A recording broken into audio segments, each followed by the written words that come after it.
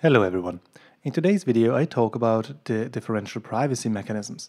You will not understand much if you don't already know what differential privacy is, what noise is, what query sensitivity is, or what the privacy parameter epsilon represents.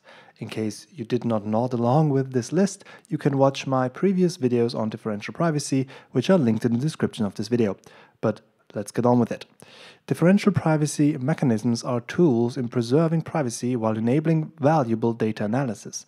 This video provides a technical examination of four key mechanisms the Laplace mechanism, the Gaussian mechanism, exponential mechanism, and private aggregation of teacher ensembles, or simply PATE. In the Laplace mechanism, Laplace distributed noise is added to the query results to ensure differential privacy. You can see the density function, the PDFs, for the Laplacian distribution here. For differential privacy, the mean is always zero, and b, the second parameter, is the sensitivity of the query divided by the privacy parameter epsilon. Despite its simplicity and strong privacy guarantees, the Laplace mechanism may suffer from utility loss, particularly in scenarios with complex queries or highly sensitive data, because the epsilon needed to conceal highly sensitive data increases the noise exponentially. Contrastingly, the Gaussian mechanism adds noise samples from a Gaussian distribution to query results, providing a smoother noise distribution and more flexibility in noise calibration. You can see the formula for the PDF so for probability density function here. For differential privacy, the mean is also, like we have seen in the Laplace distribution, set to zero. However, the second parameter, the variance, only now depends on epsilon and not on the sensitivity of the query. Therefore, while it is simple, simpler even than the Laplace mechanisms, it requires careful calibration to balance privacy and utility effectively, and it may not be suitable for scenarios with nonlinear queries or heterogeneous data distributions.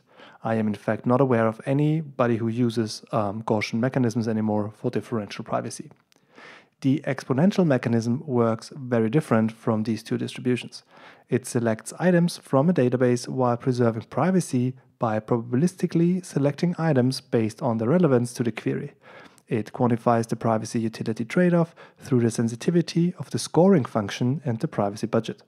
In practice, it looks like this.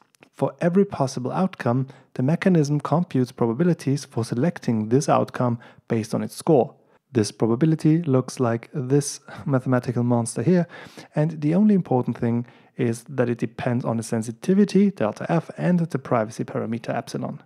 This mechanism enables personalized and context aware data selection, making it ideal for scenarios such as personalized recommendations and decision making processes. However, it may pose computational challenges, especially for large datasets or complex queries.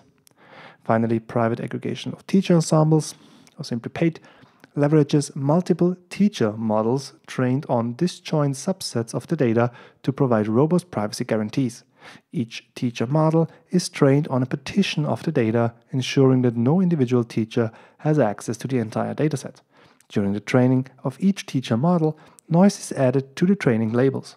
This noise addition is typically achieved using a noise distribution, such as we have previously discussed, uh, Laplace or Gaussian. The prediction from the teacher models are aggregated using techniques such as voting or averaging to produce a final prediction.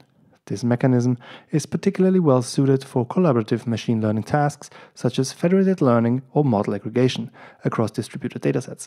However, it requires substantial computational resources and coordination among data distributors. Now, to recap, the strengths and weaknesses of the differential privacy mechanisms. The Laplace mechanism offers strong privacy guarantees and straightforward implementation. However, it may suffer from utility loss in some scenarios and be sensitive to query complexity.